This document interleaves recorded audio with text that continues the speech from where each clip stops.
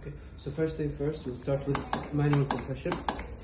Then we'll grab the board from the back, and then we'll pause the manual compression for a second and lift the patient from the shoulder from the shoulder from here, and then raise one centimeter, and then slide the board under the patient.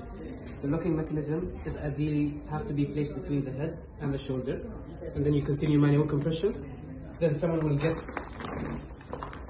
the CPR compression machine. You turn it on from the bottom here. Okay.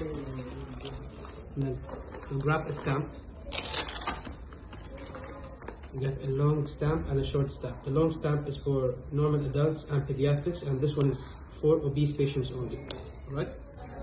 It's made short so that you have the maximum height from the board up up when it's fully uh, raised. Okay.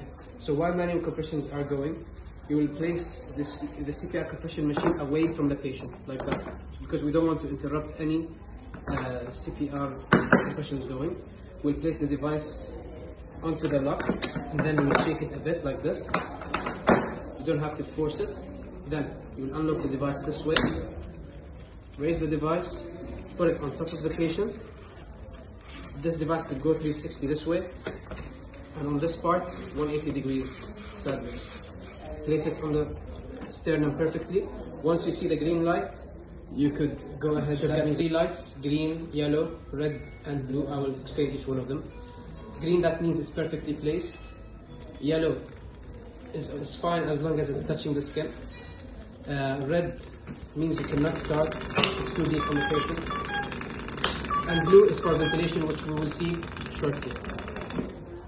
Blue is for Blue is for ventilation. ventilation. Yes, you will see it shortly. Okay? So how to start? You lower the lock and then you start. Let me show you. So there are four boxes that you could play around with. You got the mode. Next to the mode there is a button. So each box has a button next to it. To change the mode, you have to confirm. So have 15 to 2 continuous and 30 to 2. Let's say you want to do 15 to 2, you confirm. This is the confirm button, the tick button. And you could go up and down between the modes with the arrows. The depth, you could change it without confirming. There's a plus and minus, you could go up and down, and you could go back. Uh, the rate, you could change it to without confirming. It's like the battery. People pinch in here thinking that this is a lock, so don't do that. This is the battery to remove the battery. Okay. Um, one more thing. This device is used by uh, adults and pediatrics starting from the age of 8. Do not use on younger patients, just as per the protocol, it's starting from the age of 8. So to charge the device, you get the wire, it's magnetic, and you place it this way. You can't place it sideways, just this way. And you can So after each two minutes, we are counting each two minutes, we have to stop the CPR and analyze. Easy what we can do. If the doctor said, stop CPR, analyzing heart rhythm, just click on the light and now analyze the rhythm. If the patients need shock, clear from patients and you can give shock to the while the device is connected, that's normal because the device can take this. So now we are giving the shock. After we give shock to the patients, just start by pressing again the compressions. So now this is the procedure to be repeated.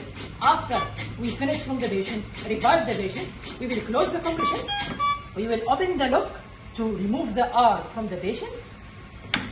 Remove the R from the patients, straight the R, make it fully down, close the lock, turn off the device. It will take 5 seconds to take off, take, turn off in case you turn it off, off by mistake. So now the device off.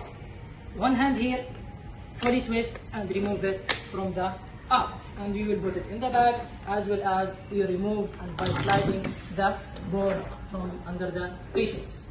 Thank you so much and we'll see you again.